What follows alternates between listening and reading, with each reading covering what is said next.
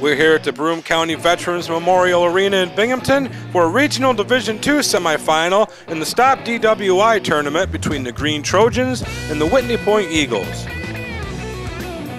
First quarter action, Nate Smith passes to Kurt Spear. His turnaround jumper gives Greene a 2 0 lead.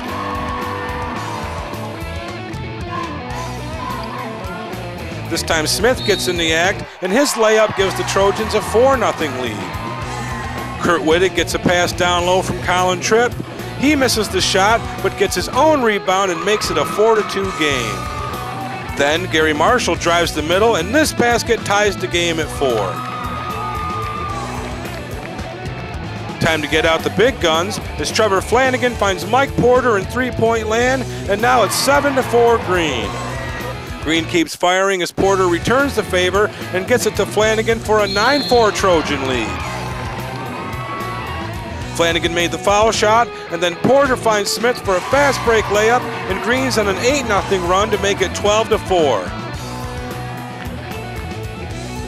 After a timeout, Bill Liddell finds Wittig down low, and that ends the run and makes it 12 6. The Eagles keep flying as Dustin Wilson's turnaround layup makes it 12 8. We end the first quarter with Greene up 12-11 after Kurt Wittig makes a three-point play after he gets fouled, putting in Gary Marshall's miss. They keep it going in the second quarter as Gary Marshall gets a layup to give Point their first lead 13 to 12. Then Dustin Wilson gets a pass from Marshall to make it a three-point lead. Whitney Point's up 21 to 13 now, but Nate Smith's three-pointer cuts the lead to five. However, the Eagles answer right back as Colin Tripp finds Bill Liddell at the top of the key and Whitney Point's up 24 to 16. They take a 24 to 18 lead into the locker room at the half. Greene tries to get back in it as Mike Porter passes over the defenders to Nate Smith, and now it's 24 to 20. The Eagles answer the call and go up 26 21 with this basket by Wittig.